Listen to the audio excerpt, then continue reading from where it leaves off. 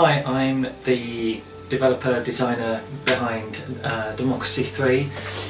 Um, I've just got another review of the game um, on a site called IndieStatik and I thought it was very interesting because it kind of approached reviewing the game in the same way that I've tried to design it and I think it, it's quite interesting because it reminds me that um, basically Democracy 3 is a very emotional game and I think that all good games are basically about emotions. They bring out a certain emotion in you. I think all entertainment is emotional. And it might seem a bit funny to have a game that's like mostly spreadsheets and um, charts and statistics and to say, oh, it's an emotional game. Um, as opposed to a game where you run around and shoot people in the face, which is obviously, you know, testosterone power fantasy thing. Um, but actually I think it's, it's a, a, much more emotional game than most because it deals with emotions that, that games tend not to, which are kind of um, the querying of your own ethics, which is sometimes done very in a very sort of blatant and kind of binary way in a game like Bioshock, um, which all credit to them for, for, for like trying to do that when, you know, do you save this little girl or do you murder the little girl in order to further uh, your progress in the game? Um, stuff like that. The thing about that is it's, it's clearly fantasy, it's, it's like a science fiction kind of... Um, it's really obviously a game. It's not something you ever tend to have to deal with in, in real life, thankfully. um, so it kind of seems a little bit artificial and a little bit kind of um, indulgent in a kind of sort of it doesn't really affect the way you feel about things. Whereas hopefully Democracy 3 does, because you are given dilemmas and choices in this game that kind of do affect you in the real world. Um, we all pay tax or we all receive some form of, of, sort of state benefit or whatever and we all have to live by or risk the consequences of not living by the, the sort of laws of the land.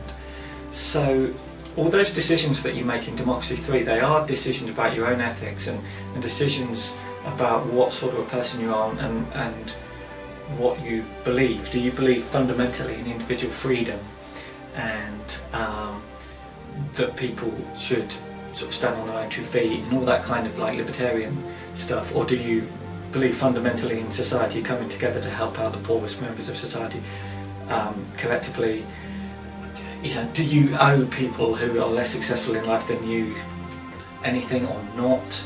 Um, all those sort of issues, those sort of fundamental things that everyone thinks that they know what they believe and that they've come to a rational um, kind of evaluation. That sort of stuff that games don't really handle. They don't really deal with it because games are, normally they're fantasy or they're science fiction and we're therefore, when we start playing them, we're already in another world. And when you play Democracy 3, you're not, you're in this world, and you're dealing with day-to-day -day events that, um, that are out there and affect you, especially if you're, for example, in the US at the moment, your government has shut down and, and made default. Um, you may be temporarily out of work as a result. This is a real-world fundamental thing that will affect your standard of living.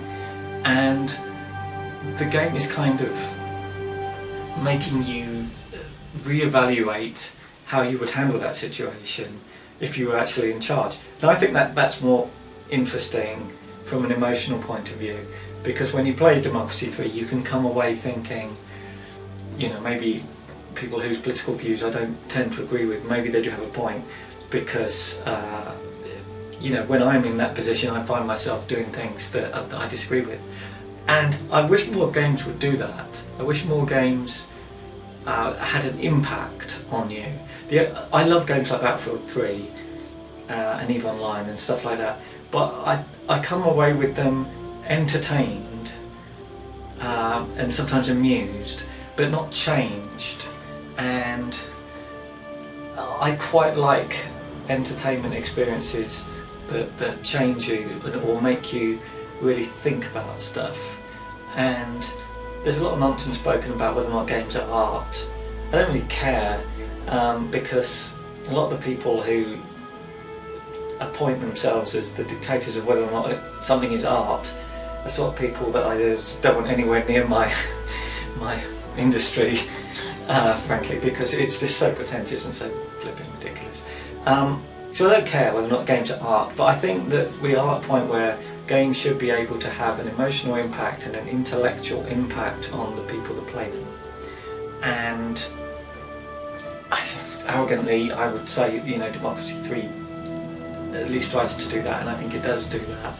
Um, and I think that's a more interesting approach to take to the kind of uh, growth in, in games and the maturity of games than some arbitrary distinction as to whether or not they're art.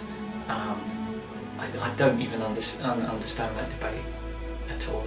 It seems fundamentally strange to me.